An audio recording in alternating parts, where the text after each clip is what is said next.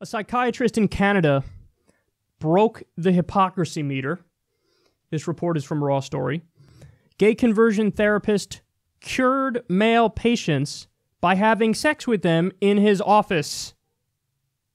They explain a psychiatrist who believes being gay is a sexual disorder and specialized in treating people for their homosexuality was found guilty of sexually abusing two male patients.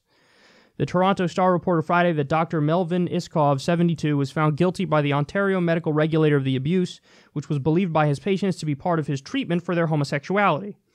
The two patients who spoke to the five person discipline uh, panel said they thought that the sexual activity was part of the therapy and an attempt to cure them of homosexuality by engaging in the acts rather than fantasizing about them. Iscove engaged in mutual masturbation and oral sex with two male patients on different occasions during uh, therapy sessions, and once had anal intercourse with one of them in his office, the panel found. Though homosexuality hasn't been considered a psychiatric disorder in 30 years and attempts to cure it have been discredited as traumatic, the Toronto psychiatrist in his defense introduced passages from 1950 psychoanalyst Dr. Edmund Bergler whose theorizing on homosexuality included the concept that there are no happy homosexuals. This guy is also uh, accused, by the way, of improper conduct in a public men's washroom. Shocker. Um, so this tale is now as old as time. No pun in- intended when I say the word tale.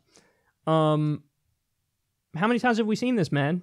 How many how many times have we seen this? What was the guy's name? Ted Haggard was one. There's been a thousand Christian uh, fundamentalists who've been in this position. There's been a thousand Republican politicians who are anti gay who've been caught in this situation.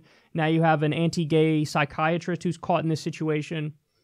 Listen, what they're doing is actually ex- exploiting their clients. Because these guys are ob- obviously the guy who's this psychiatrist is gay.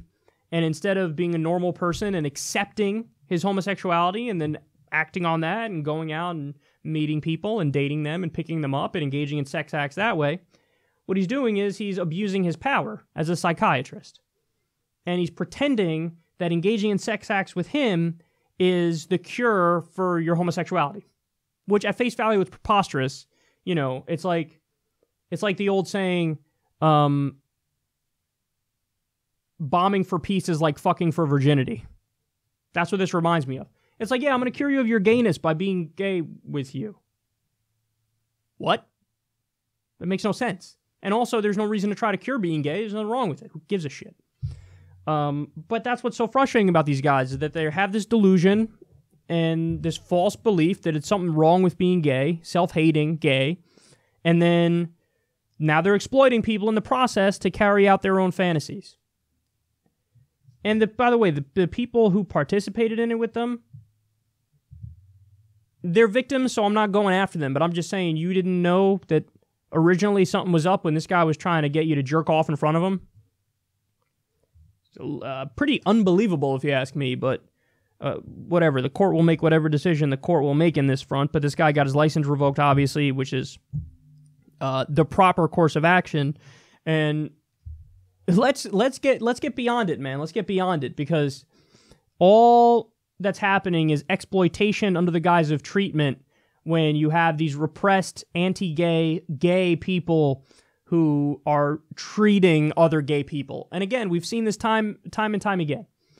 Uh, where there was I think Michele Bachmann's husband was in a similar situation. He would actually to be fair, I'm not sure if it was him, but I remember seeing a little video news clip of like an anti-gay um gay treatment therapist who would have gay men sit on his lap and like grind with him. It's like you, you obviously you're in the closet and you're gay and you're trying to get your rocks off while pretending it's it's immoral and wrong and deserves treatment.